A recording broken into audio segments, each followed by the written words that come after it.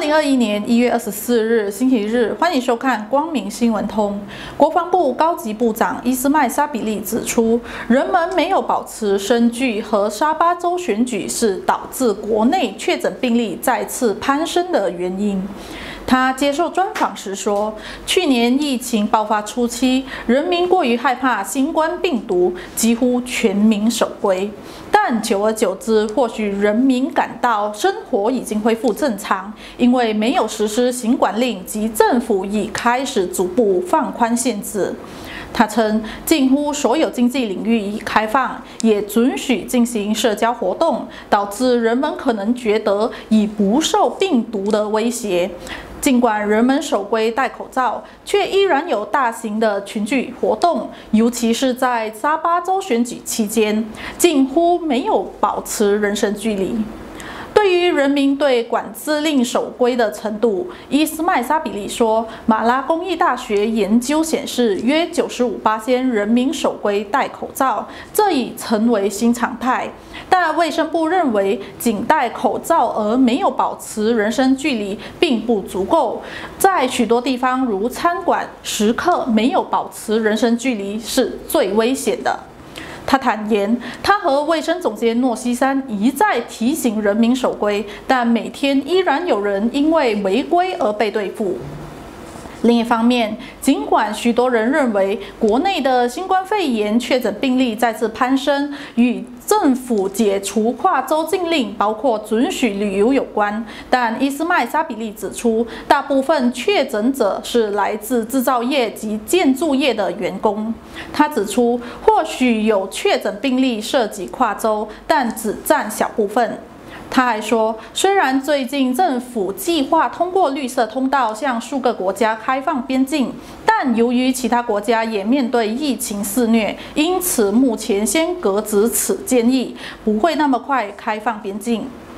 同样是与疫情相关的新闻，国内日趋严峻的新冠肺炎疫情，若无法随着政府落实行动管制令而好转，政府不排除于二月四日之后全面关闭国内各经济领域的运作。这是马来西亚欧洲商会在发给旗下的会员的一封信函中做出的揭露。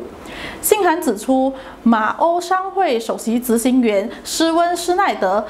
于本月二十二日出席国际贸易及工业部的会议时，主持会议的贸工部秘书长诺曼表示，卫生部已明确表达了全面关闭经济的立场。根据信函，会议提及了全国三百多个感染群中，与制造业有关的感染群便有九十九个。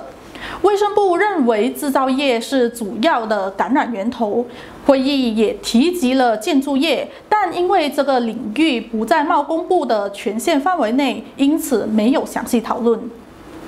该信函。传开后，前首相纳吉也在脸书撰文，质疑政府为何要浪费二十三天后才实施严谨的管制令。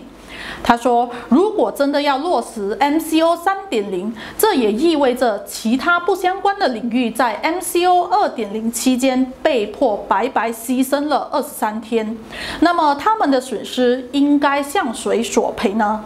他强调，若要采取严谨的管制措施，就应该立刻禁止制造业和建筑业的运作，别再等待及逼迫人民在管制令下受更久的苦。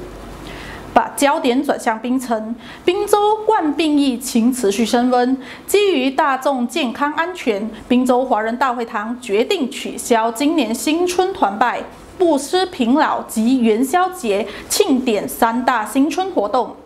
滨州华人大会堂副主席郑荣信今日接受本报访问时说，滨华堂新春活动庆典的工委会两周前已经开会讨论，如果疫情在本月的二十五日前没有明显的降低，将会取消所有新春庆典活动。